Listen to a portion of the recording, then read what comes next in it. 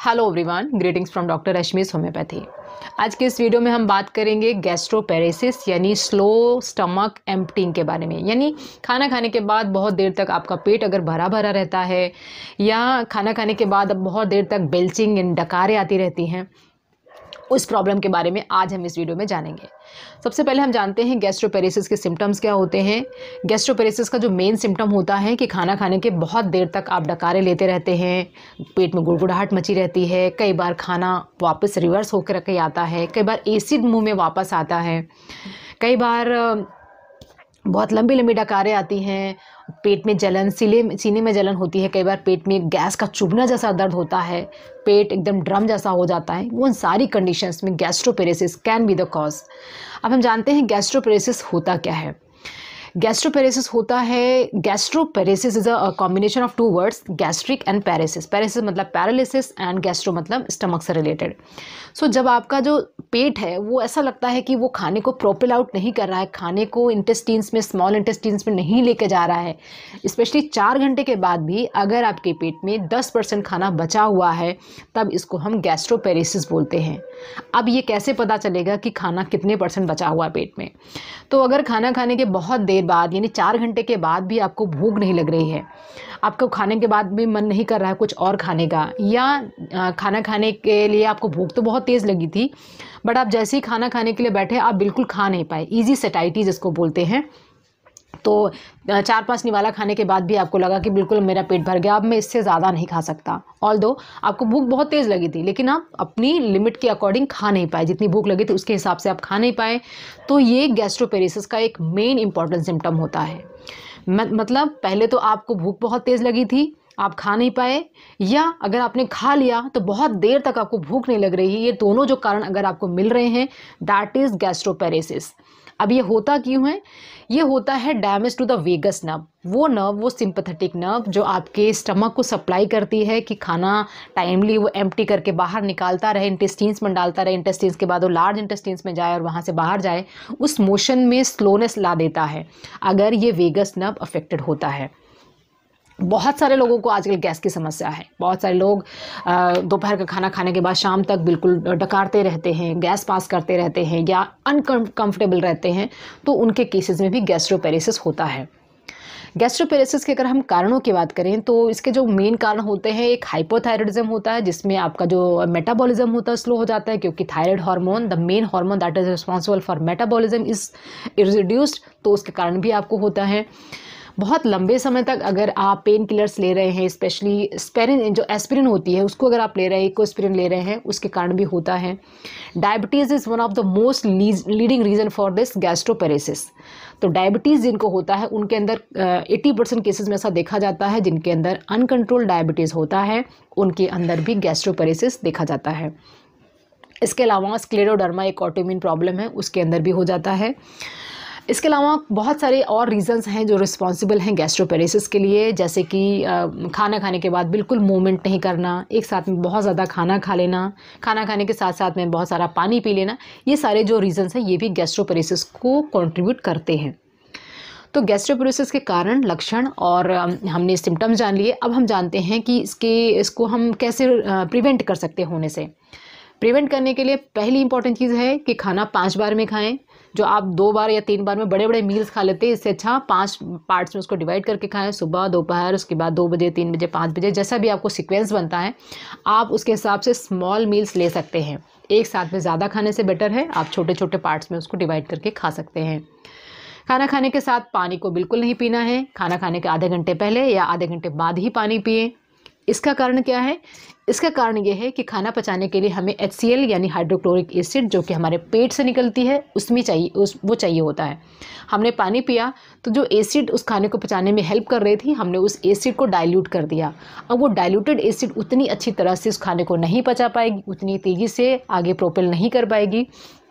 इसलिए हमें उस एसिड को डाइल्यूट नहीं करना है।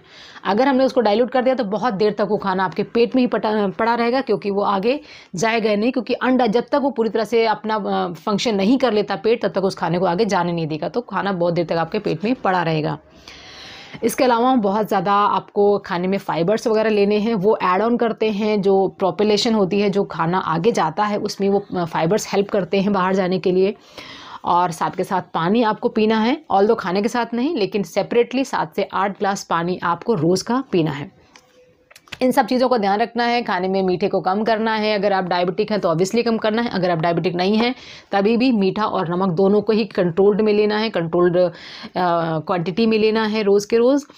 तो ये सारी चीज़ें हैं जो गैस्ट्रोपेरेसिस को प्रिवेंट कर सकती हैं काफ़ी हद तक। खाना खाने के बाद थोड़ी चहलकदमी ज़रूरी है मूवमेंट करना ज़रूरी है, वो भी आप कर सकते हैं।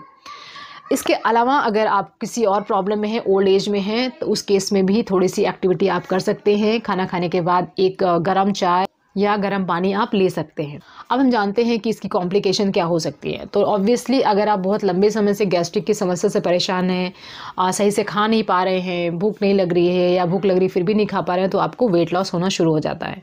तो weight loss is the main thing that that is leading that that can be the complication of this gastroparesis इसके अलावा आपकी इम्यूनिटी भी डाउन हो जाएगी क्योंकि वेट लॉस अगर हो रहा है, आप खाने में न्यूट्रिएंट्स आपके नहीं आ रहे हैं तो आपको मॉल न्यूट्रिशन की भी समस्या हो सकती है।